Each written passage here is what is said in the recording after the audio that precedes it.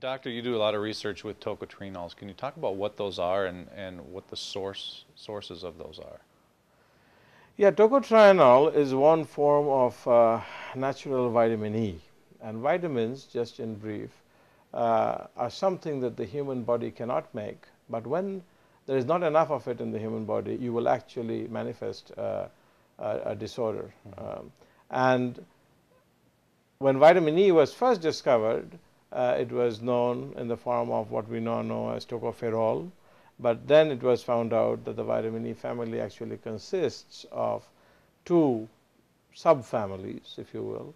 One would be tocopherol, made up of alpha, beta, gamma, delta tocopherol, and the other, uh, which was found later after tocopherols were found, are the tocotrienols. And the structurally, they're very similar. Again, tocotrienols have alpha, beta, gamma, delta. So totally there are eight members, four of which reside in the tocopherol family and four in the tocotrienol family.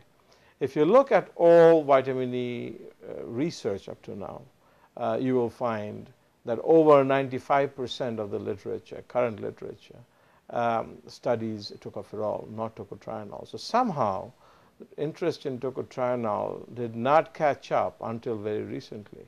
So 10 years ago, when I got into studying tocotrienol and I asked, you, you know, why do everybody focus on alpha tocopherol and, and why, what really is the rationale for not studying tocotrienol, there was not really a satisfactory answer.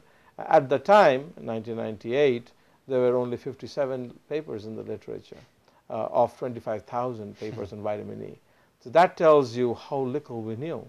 But maybe that was an opportunity uh, for some of us that got into the field.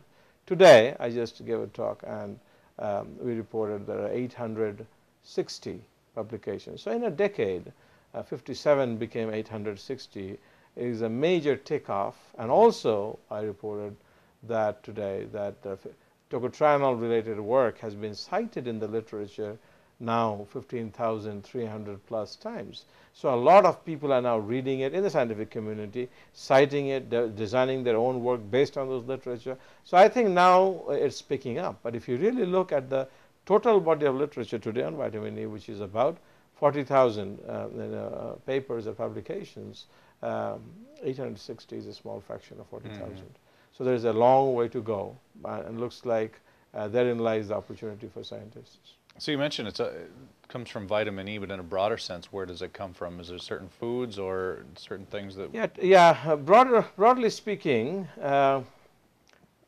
vitamin E, tocopherols mainly come from the green leafy part of the plant, and tocotrienols, for some reason, uh, are the vitamin E of the seed form okay. of the plant. So plants, it seems, have made a conscious decision to keep tocotrienols in the seed. And there was a study that I recently read uh, from the agricultural community.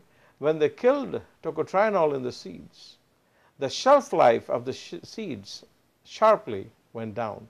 Seeds are supposed to be under very harsh conditions surviving so that when the right conditions come, they can germinate and give rise sure. to a new plant. So the shelf life of a seed going down is a big deal.